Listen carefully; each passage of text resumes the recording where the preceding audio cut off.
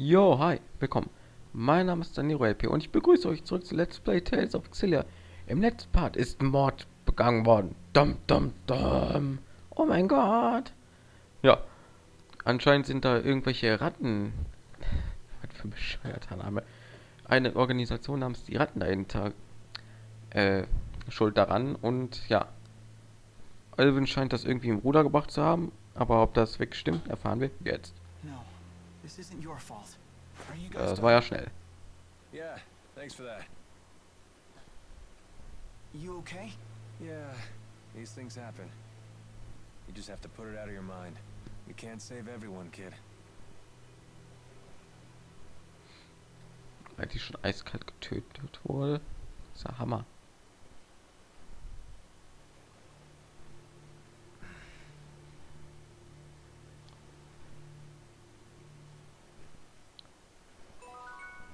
Oh, jetzt weiß ich. Alvin hat irgendwas mit diesen Ratten zu tun. Ne? Äh, so besch- Wie kann man sich nur die Ratten nennen? Wie bescheuert ist das denn? So, keine Quest mehr.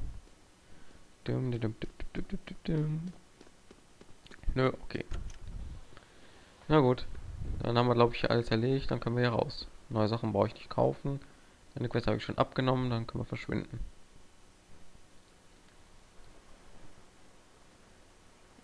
Ja, da. Wollt ihr meine Geschichte hören? Nö.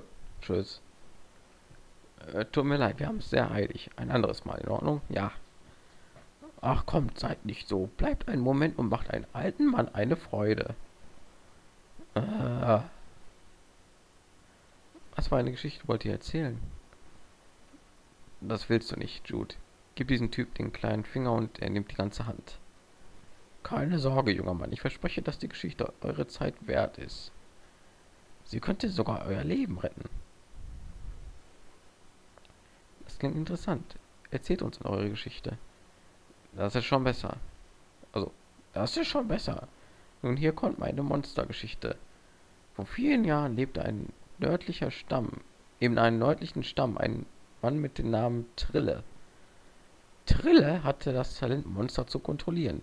Diese seltene Gabe versetzte ihn in die Lage, Monster in ihre versteckte Kräfte zu erziehen. Doch Trilles Genie war nicht so leicht zu befriedigen und er begann sich an verbotenen Arts zu versuchen. Er versuchte ein Monster zu erschaffen, das mit jedem Kampf stärker wurde, indem er mit dem Mana-Lappen der Monster experimentierte. Er experimentierte mit Mana-Lappen? Aber das ist doch nicht möglich? Nein. Aber Triller hat es trotzdem. Nach über 20 Jahren Forschung erschuf er erfolgreich sechs neue Monster. Diese Kreaturen mit übergroßen Mana-Lappen konnten neue Geisterarts allein durch Instinkt wirken. Jeder der sechs Monster hat eine Waffe, die aus seinem Körper wuchs, als ob jedes eine lebende Verkörperung der Waffe wäre. Es gibt sechs Hauptcharaktere. Hm. Diese Waffen wurden als Teufelswaffen bezeichnet und die Monster als Teufelsbestien. In all meinen Jahren als Söldner habe ich noch nie eine solche Geschichte gehört. Hehehe, natürlich nicht, junger Mann. Vor 20 Jahren führte Trille seine sechs Teufelsbestien in einen großen Krieg. Aber ein riesiger Tsunami überschwemmte das Schlachtfeld und spülte alles hinfort, auch Trille. Somit war auch das Geheimnis Wissen, das geheime Wissen um die Erschaffung dieser Monster verloren. Das war's. Vielen Dank, dass ihr meine Zeit verschwendet habt, alter Mann. Ah, aber die Geschichte ist noch nicht vorbei, wisst ihr? Die Teufelsbestien sind an jenem Tag nicht gestorben. Trilles Tod setzte sie frei und bis zum heutigen Tag treiben sie irgendwo in der Welt ihr Unwesen. Aha. Und ihr sagt, die Teufelsbestien werden mit dem Kampf stärker. Ja, richtig. Mittlerweile kämpfen sie seit über 20 Jahren. Ich kann mir gar nicht vorstellen, wie stark sie jetzt sein müssen. Hört gut zu, wenn ihr ein Monster seht, aus dessen Körper eine Waffe wächst, versucht nicht, es zu bekämpfen. Das ist, meine Freunde, ist die Moral dieser kleinen Geschichte und das Geheimnis eines langen Lebens. Und du bist Trille, ne? Lass mich raten. So, ich verstehe nicht, warum wir aufgezwungen worden sind, uns das anzuhören. Einzige, was ich mir jetzt vorstellen könnte, ist, dass eins dieser Monster uns gezwungenermaßen in der Hauptstory begegnet und wir davon wegrennen müssen. Weil sonst sehe ich keinen Grund, warum uns dieses Gespräch aufgezogen worden ist. Denkt daran, wenn ihr ein Monster seht oder blablabla. Ja, okay. Ja, das muss es eigentlich sein, sonst verstehe ich das nicht. Sonst verstehe ich nicht, warum dieser Clip nicht irgendwo hier so eine Art Nebenquest oder Cutscene gewesen wäre. Also das heißt, wir müssen irgendwann gegen so ein riesiges Monster kämpfen, vor dem wir flüchten müssen. Sie könnten einen neuen anfertigen. Was denn? Haven. Does this sort of thing actually work? You tore it down? Yes, but I can't imagine a poster like this will give us any trouble. Do humans have a different sense of aesthetics than I do? Well, anyway, Mila tore it down, so we should be safe here, right? That'll never work. Keep tearing them down and they'll keep putting them right back up. Mila? It's nothing. Alvin's right. Even with this terrible likeness, we can't afford to take chances. We should move on. All right. Given enough time, they might manage to make a replacement key as well. We need to hurry. Was? Ach so, diesen. äh, Nee, ich weiß nicht. Ich war irgendwie jetzt draußen, keine Ahnung. Na gut. So. Neue Gegend, neue Monsters. Kommt her. Muss töten. Zack. Jude. Hu. Boah. Endlich wieder Kämpfe. Geil. Hab mich schon gefreut. Schon weiß ich nicht mehr, wo welche Attacke. Zack. Und ja, das Spiel macht mir immer noch Bock. Nur so ganz nebenbei. Oh, und Mila. Was zum... Was zum... Aua. Boah, da kommen die alle direkt mit ihren Heilfähigkeiten an. Boah, ich kann die sogar nach oben schlagen. Aua. Aua, das Viech macht uns fertig. Du blödes Viech. Ja, ich muss mal gucken, wo habe ich denn überhaupt? Ja.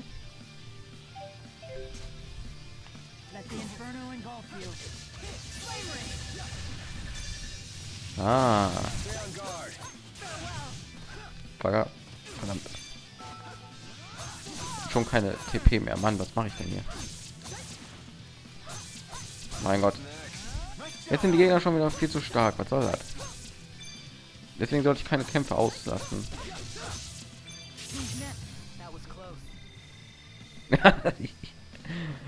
Oh, das war nicht sehr schön. Puddingkuchen. Verdammt, ich vergesse mal Sachen hier zu kaufen. Zum Essen. So, 400 Geld. So, ich muss mal kurz gucken. Nein. Wir haben nichts Neues, oder? Ähm, Mila. Ja, immer noch die. Okay. Äh, äh. Wow, riesige Vögel. Weil irgendwann wird es wirklich so unübersichtlich mit den Arts, wenn wir so viele haben. Da soll ich lieber die, die wir jetzt haben, schon mal gut verteilt haben. Aua, wo ich einmal auf die Uhr kurz. Da passiert sowas. Mann. Aua. Mein Gott, da waren sind die Gegner auf einmal so stark.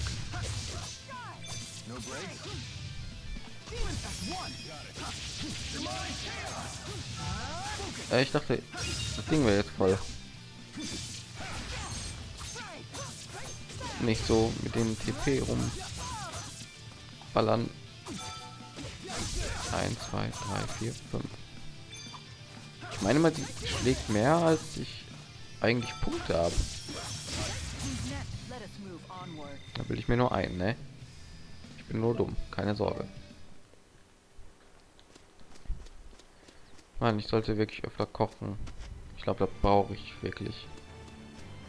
So, wo müssen wir denn hin? Hey, da ist ein Dingens. Ist da ein Händler? Ähm, wie komme ich hier hoch? Ähm, hier. Oh nein.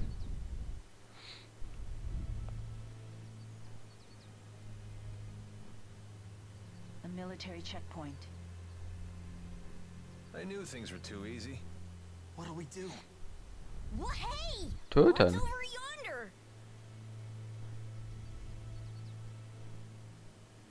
That's the Deepwood. If we can hike our way through there, we'll come out right near Sherrilton. Then our path is clear. It won't be easy going. What about Elise? You knew she'd face risks on this journey.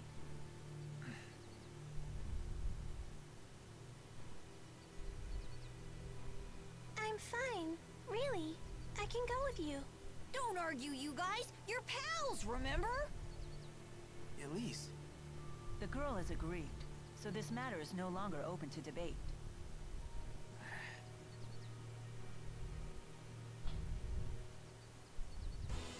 War sie schon immer so.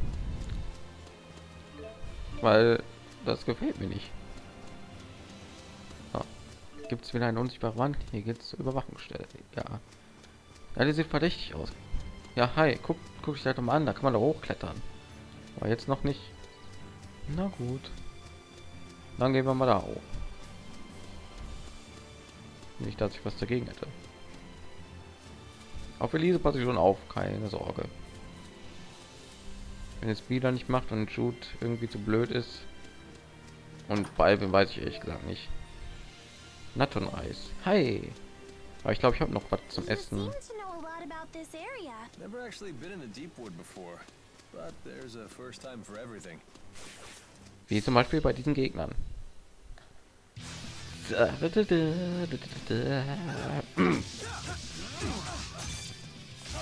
Ah. Wow. Stay. Zack.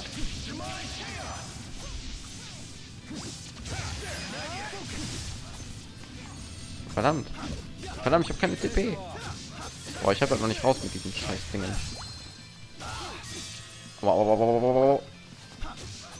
Gehst du weg? Aua.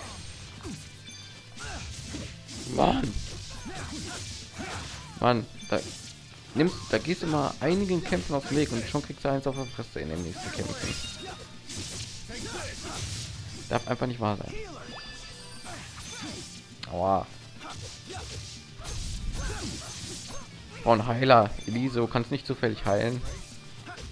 Bin mir ehrlich gesagt nicht sicher. Oh Gott.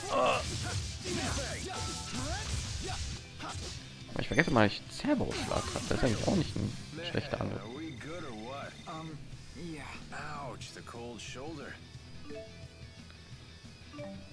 So, verbleibende Kämpfe 0. Gut. Verdammt. Monsterbekämpfer. Kein Ding. Dann kann ich ja jetzt den Naton-Reis einsetzen.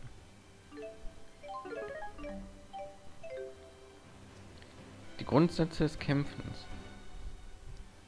Well, we've certainly logged a good amount of real-world combat experience. Indeed. I feel that I fully understand the fundamentals. The trick seems to be viewing the blade as an extension of my body and swinging it intuitively. That's not one of the fundamentals. That's the final stage of mastery. Oh, is it? Well, I still get frightened every time I fight. You should use that fear to fuel your punches. I do. After all, it's either them or me. If you've taken that lesson to heart, then you're a true warrior in my book. Honestly, I don't know which one of you scares me more. Was soll das denn heißen? Na gut. So, perfekt. Dann heile ich mich noch mal für den nächsten Kampf, weil wir sind dauernd am Sterben. Und ja. Wenn die nicht mehr nach Prozente geheilt? Keine Ahnung. So, jedenfalls bedanke ich mich fürs Zuschauen und ja, wir sehen uns dann. Kann ich hingehen, ohne dass was passiert? Okay, dann sehen wir uns im nächsten Part bei Tales of Celia. Jetzt wollte ich schon der Abyss sagen. ja, ich bedanke mich fürs Zuschauen und ciao.